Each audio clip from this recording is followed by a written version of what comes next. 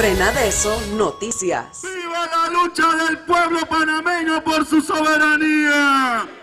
Porque somos patriotas. Somos patriotas. Esta patria no se vende. Esta patria no se vende. Esta patria no se vende.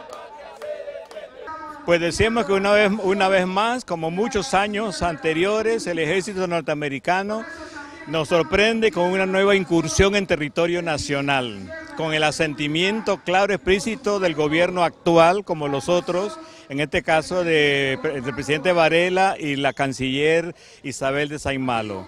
Esa presencia es nefasta por el país, en primer lugar porque es una negación, una afectación a la soberanía de nuestro país, por la que se ha luchado tanto a lo largo de la historia. Y en segundo lugar lo rechazamos también porque sabemos que la intención de Estados Unidos de mantener presencia militar en Panamá, aunque sea esporádica, tiene como objetivo acentuar su interés en contar con una plataforma de eh, contrainsurgencia contra los gobiernos y pueblos eh, latinoamericanos y caribeños que están luchando históricamente, ¿verdad?, para construir y, fundamentar más la soberanía y su independencia. Por eso entonces en el día de hoy estamos aquí en la Cancillería pues para hacer protestas junto con las organizaciones de Frenadeso, otra como también la nuestra, la Coordinadora Popular de Derechos Humanos de Panamá.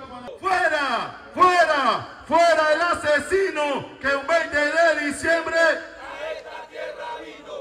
fuera, fuera, fuera el asesino que un 20 de diciembre abajo el gobierno que le entrega la patria a los gringos. Abajo Juan Carlos Varela, entreguista. Abajo Isabel de Saimalo que le entrega la patria a los gringos.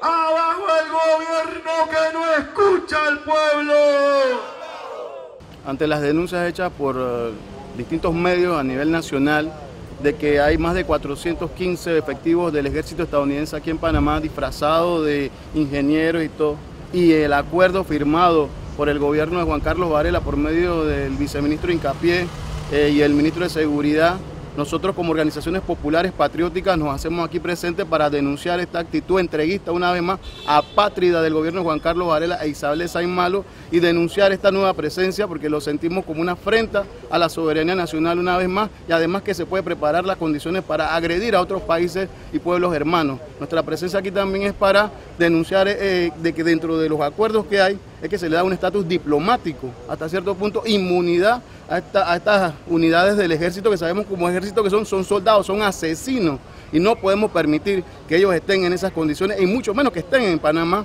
Por así mismo también denunciamos esa actitud entrevista, repetimos, apátrida de Isabel de Saimalo y de Juan Carlos Varela y del ministro de Seguridad.